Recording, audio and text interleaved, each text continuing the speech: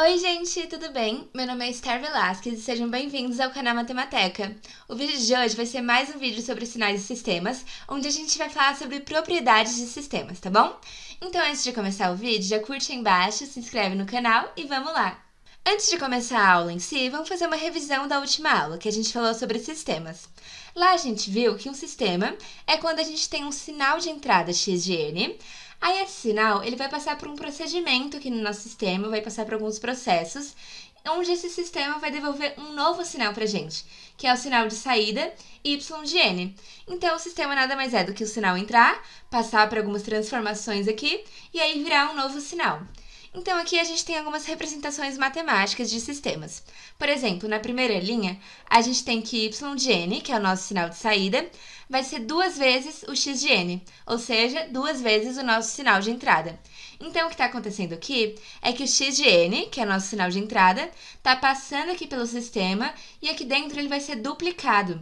E aí, o nosso sinal de saída, o sinal que o sistema vai devolver para a gente, vai ser o dobro do sinal de entrada, duas vezes o x de n, certo?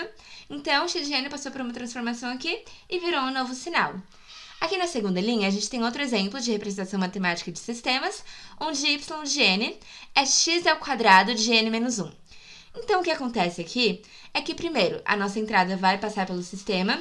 Aqui dentro, ela vai ser, primeiro, atrasada em uma amostra, porque a gente está pegando um n do passado, não é? A gente não está pegando o n de agora, a gente está pegando o n menos 1. Então, se a gente quiser o y de 4, vai ser o x de 3. Se a gente quiser o y de 6, vai ser o x de 5, certo? E além disso, além de ser atrasada uma amostra, ela vai ser elevada ao quadrado. Então, aí vai entrar nossa amostra, vai ser atrasada e depois elevada ao quadrado. E aí a gente tem o nosso sinal de saída. E aqui na última linha, a gente tem o y de n igual a x de n mais y de n menos 1. O que acontece aqui é que vai entrar o x de n, né? E aqui dentro, além da gente transformar apenas o x de n, a gente também pega a saída do tempo anterior. Então, a gente pega a saída da amostra anterior à amostra que a gente está vendo agora. Então, por exemplo, se a gente quiser saber o y de 5. Isso aqui vai ser o x de 5, ou seja, a nossa entrada quando n é igual a 5, mais o y de 5 menos 1. Então, o y de 5 vai ser a nossa entrada de agora, entrada no presente, mais a saída uma amostra antes. Ou seja, a gente está pegando a saída do passado, a saída que a gente acabou de ver, que é uma amostra anterior à amostra que a gente está agora. Agora que a gente lembrou que é um sistema e a gente viu algumas representações matemáticas deles, a gente vai falar sobre propriedades de sistemas, tá bom? Para começar, vamos falar sobre sistemas causais. O que, que são sistemas causais? Quais são as características que definem um sistema causal? O sistema vai ser causal quando a saída dele, ou seja, o y de n, depender da entrada apenas no presente ou no passado, ou seja, nunca vai depender de uma entrada do futuro, uma entrada que ainda vai acontecer. Então, por exemplo, esse primeiro sistema aqui, y de n igual duas vezes x de n menos 1. A gente está dobrando a entrada uma amostra atrasada, então a gente está dobrando uma entrada do passado. No caso, esse sistema aqui, a gente pode falar que é um sistema causal, porque a gente não depende de entradas do futuro, só de entradas do passado, né? Então, nesse caso, é um sistema causal, porque a gente está ou no presente ou no passado, no caso aqui no passado, né? Agora, esse sistema aqui, y de n igual x de n menos x de n mais 1, aqui nesse caso, a gente está dependendo de uma entrada que ainda vai acontecer. A gente está pegando uma entrada de uma amostra adiantada. Então, por exemplo, se a gente fosse fazer y de 4, isso aqui seria o x de 4, então a, a entrada no tempo atual, no presente, menos a entrada adiantada de 4 mais 1. Então, o y de 4 vai ser x de 4, a entrada atual, menos a entrada de 5. Então, aqui, a gente está pegando uma entrada que não é do n que a gente está trabalhando no presente. É de um n que a gente ainda vai ver, um n que a gente ainda não chegou lá. Então, ó, repare que aqui o n do y é menor que o n aqui da nossa entrada. Portanto, esse sistema aqui não é um sistema causal. Por quê? Porque a gente está trabalhando com entradas futuras. Ó, n mais 1, a gente está adiantando uma amostra. Ao contrário daqui, que a gente estava atrasando uma amostra, a gente estava indo para o passado. Agora, vamos estudar esse sistema aqui. y de n igual x de menos n. Isso aqui é um sistema causal, gente? Ó, o que está acontecendo aqui? O y de n vai ser o x no oposto daquele n. Então, por exemplo, quando n for igual a 1, o y de n vai ser o x de menos 1. Qual é o x de menos 1? A gente vê aqui que é menos 2, certo? Então, quando n for igual a 1, o y de n vai ser menos 2, que é igual ao x de menos n, certo? Aí, quando n for igual a 2, o y de n vai ser o x de menos 2. A gente está pegando sempre o n oposto ali, né? Então, quando n for igual a 2, o y de n é o próprio 2 também, que é igual ao x de menos n. E aí, quando n for igual a 3, o y de n vai ser o x de menos n, que é o x de menos 3, que é menos 1. Aí você fala, bom, então é um sistema causal, não é? Porque o y está dependendo apenas de valores passados do x, apenas de valores menores do que os n que a gente está trabalhando aqui. Ó, quando n era 1, a gente pegou menos 1, que é menor. Quando n era 2, a gente pegou menos 2, que também é menor. Gente, aí que tá. E quando a gente for trabalhar com n's negativos aqui no y de n? Por exemplo, quando n for igual a menos 1, quanto vale nosso y de n? O x do oposto de menos 1, né? Então, o y de menos 1 vai ser o x de 1, que é 2. Então, ó, y de menos 1 igual a 2. Aí, quando n for igual a menos 2, a gente vai ter y de n igual a x de 2, que é menos 1. E quando y for igual a menos 3, a gente vai ter o x de 3, que é 1. Então, y de menos 3 igual a x de 3, que vale 1. Reparou o que aconteceu agora, gente? Dessa vez, quando a gente está trabalhando com n's negativos, a gente está pegando valores futuros de x. Ou seja, quando a gente estava com n igual a menos 1, a gente pegou o valor de n igual a 1, que é um valor maior que menos 1. Quando a gente estava no n igual a menos 2, a gente pegou um valor maior também, que é o 2. Então, a gente está pegando entradas futuras quando a gente está nos n's negativos aqui da saída. Portanto, isso aqui não é um sistema causal. Porque, embora quando a gente estava no N positivo a gente pegasse apenas N's passados, quando a gente está no N negativo, a gente pega N's do futuro. E isso não representa um sistema causal, beleza? Agora vamos falar sobre sistemas estáveis, gente. Quando que o sistema vai ser estável? Quando entradas finitas, ou seja, x de n's finitos, levarem também a saídas finitas. Então, aqui, basicamente, o que quer dizer é que a saída desse sistema não vai explodir para o infinito, ou seja, vai ser uma saída controlada, com valores controlados, finitos, certo? Então, por exemplo, se a gente tiver o sistema onde o sinal de saída y de n é duas vezes o x de n menos 1. Então, a gente está trazendo nossa entrada em uma amostra e aí dobrando essa entrada, certo? Então, vamos supor que nosso x de n, a nossa entrada, seja o sinal degrau, o de n.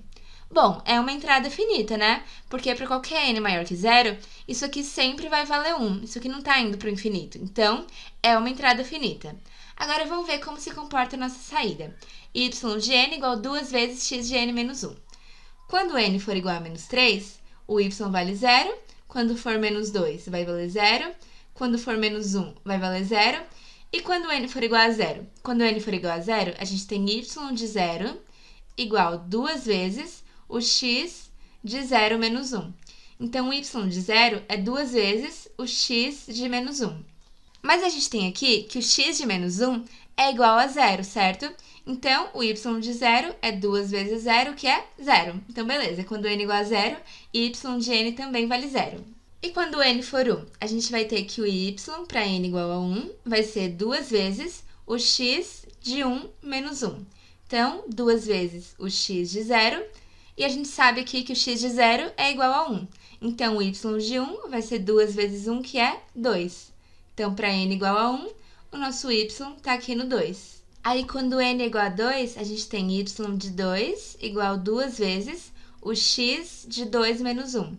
Então, 2 vezes x de 2 menos 1 é o x de 1, que vale 1. Então, 2 vezes 1, que também é 2. Então, para n igual a 2, o nosso y de n também vale 2. Gente, isso aqui vai acontecer eternamente, tá bom? Porque o nosso sinal de grau tá sempre valendo 1. E como a gente tem duas vezes o x de n menos 1, que sempre vai ser o sinal de grau, a gente sempre vai ter duas vezes 1, que é 2. Então, a nossa saída aqui vai ser controlada, ela sempre vai valer 2, nunca vai para o infinito. Logo, isso aqui é um sistema estável, certo? Agora, vamos pensar nesse sistema aqui. 2 vezes y de n menos 1 mais x de n. Supondo que nossa entrada, mais uma vez, seja o sinal de grau, o de n, ó, faltaram as bolinhas aqui, né? como vai ficar a nossa saída? A gente tem que y de n é duas vezes a, a saída anterior, a saída y de n menos 1, mais a entrada do presente. Bom, para n igual a menos 3, vai ser 0, para menos 2 vai ser 0, para menos 1 vai ser 0. Isso aqui porque é sempre 0 aqui no nosso degrau, tá, gente? Então, a gente não tem nem saída e nem entrada nesses momentos.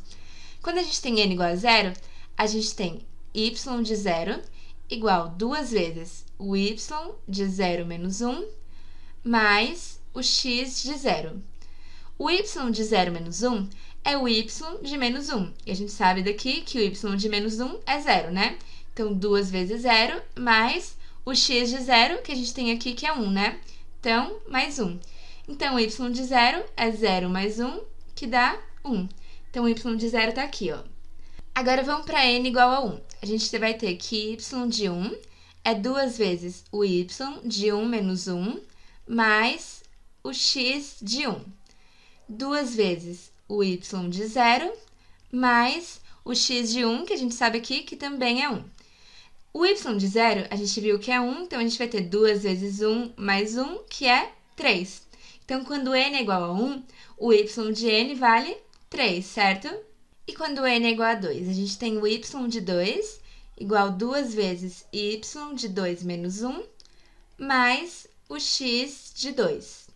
Então, 2 vezes o y de 1 mais x de 2. O y de 1 a gente acabou de ver que é 3, então fica 2 vezes 3 mais o x de 2, que vale 1. Então, fica 6 mais 1, que é igual a 7. Então, olha só, quando n é igual a 2, a gente já vai lá para cima para o 7. Gente, vocês separaram o que está acontecendo aqui? A cada amostra, cada n que a gente está aumentando, a gente está acumulando uma soma. A gente sempre vai somar um valor mais alto com o valor do degrau, certo? E cada vez vai ficando maior o valor que a gente soma. Ou seja, a gente está indo lá para o infinito. A gente está fazendo uma soma acumulativa que vai crescer sem controle, assim, vai divergir para o infinito. Logo, isso aqui não é um sistema estável, tá bom? Agora vamos falar sobre sistemas lineares. O que vai ser um sistema linear? Ah, vamos supor um sistema onde a gente tem uma entrada x1 de n. E aí, quando entra o x1 de n nesse sistema, a gente tem a saída y1 de n, beleza? Guarda isso. Aí, quando a gente tem outra entrada diferente, x2 de n, vai ter outra saída diferente, y2 de n. Beleza. Agora, para esse sistema ser linear, quando a gente coloca a soma das entradas x1 de n mais x2 de n, a nossa saída tem que ser a soma das saídas y de n mais y2 de n. Isso aqui é a primeira condição para um sistema ser linear e é o que a gente chama de condição de aditividade. A outra propriedade para um sistema ser linear é a homogeneidade, que é o seguinte: quando a gente tem x de n, sai y de n. E aí, quando a gente tiver a vezes x de n e isso entrar no nosso sistema, para ele ser linear, a saída tem que ser a vezes y de n, o mesmo y de n que a gente tinha aqui, tá bom? Então, vamos supor que nossa entrada seja um sinal degrau, o de n. Aí ele passa pelo sistema que é linear e a saída dele vai ser um certo y de n. Aí, se a gente colocar uma entrada que é duas vezes o degrau, duas vezes o de n. Se esse sistema realmente for linear, a nossa saída tem que ser duas vezes y de n, o mesmo y de n que a gente tinha aqui em cima, certo? Então, basicamente, para um sistema ser linear, a gente tem que ter que a vezes x1 mais b vezes x2 vai gerar a saída a vezes y1 mais b vezes y2, tá bom? Ó, gente, vamos verificar se esse sistema aqui é linear ou não, tá bom? Então, a gente tem um sistema onde o sinal de saída y de n é igual ao sinal de entrada adiantado em uma amostra, certo? Como a gente vai ver se esse sistema é linear ou não? Primeiramente, a gente vai arbitrar duas entradas. Ó, então, vamos arbitrar uma entrada qualquer, x1 de n, e uma segunda entrada, x2 de n, tá bom? Aí, a gente sabe que para x1 de n, a nossa saída vai ser y1 de n igual x1 de n mais 1. Então, a nossa entrada é adiantada em uma amostra. Assim como para x2, a nossa saída vai ser y2 de n igual x2 de n mais 1, certo? Agora, o que a gente tem que fazer é ver quanto vale a vezes y1 mais b vezes y2. Isso aqui vai ser a vezes x1 de n mais 1 mais b vezes o y2, né, que é x2 de n mais 1. Então, b vezes x2 de n mais 1. Ó, gente, agora a gente vai guardar nossa informação e vamos para o próximo passo aqui. Agora a gente vai arbitrar uma nova entrada, x3 de n, que vai ser a combinação das duas outras entradas que a gente tinha, de x1 e de x2. Então, x3 de n vai ser a vezes x1 de n mais b vezes x2 de n. Para esse sistema ser um sistema linear, como a entrada é a combinação de x1 com x2, a saída tem que ser a combinação de y1 com y2, ou seja, isso aqui que a gente encontrou, a vezes y1 mais b vezes y2. Então, vamos ver se isso aqui é verdade. Ó, o y3 de n, que vai ser a saída do sinal x3 de n, vai ser o x3 de n adiantado em uma amostra. Então, todo lugar que tiver n, a gente vai colocar n mais 1. Então, isso aqui vai ser a vezes x1 de n mais 1 mais b vezes x1 de n mais 1. Reparou que a gente encontrou a mesma coisa que a gente tinha aqui nessa estrelinha? Então, gente, quando a gente tem uma entrada que é a combinação linear de x1 com x2, a gente encontrou uma saída que é a combinação linear das saídas de x1 e de x2. Portanto, esse sistema é um sistema linear, certo? E por fim, vamos falar de sistemas invariantes no tempo. O sistema vai ser invariante no tempo quando o comportamento do sistema não vai variar com o tempo. O que, que isso quer dizer? Se a gente tiver um sinal de entrada x de n e aí ele gerar uma saída y de n, caso a gente atrase esse sinal em algumas amostras, ou seja, a gente chegue a um x de n menos a, sendo que esse a é um número inteiro qualquer, a nossa saída tem que ser a mesma saída que a gente tinha aqui em cima, porém atrasada na mesma quantidade de amostras, ou seja, no mesmo número inteiro que está atrasada a nossa entrada aqui. Então, se a gente tiver uma entrada x de n que gera uma saída y de n, a entrada x de n menos 2, por exemplo, tem que ter a saída y de n menos 2, ou seja, a mesma saída daqui atrasada em duas amostras. Gente, tanto a propriedade de linearidade como a propriedade de invariância no tempo, a gente vai ver com muito mais calma mais pra frente, tá bom? Então pode ficar tranquilo que a gente vai fazer muito exercício ainda sobre isso, certo? Bom, gente, então foi isso na aula de propriedades de sistemas. Na próxima aula, a gente vai fazer exercício sobre isso, ou seja, a gente vai ter alguns exemplos de sistemas, suas representações matemáticas, e a gente vai ver se esses sistemas são causais, estáveis, lineares e invariantes no tempo, tá bom? Então a gente se vê na próxima aula, gente. Não esquece de curtir o vídeo, se inscrever no canal e até lá. Beijo!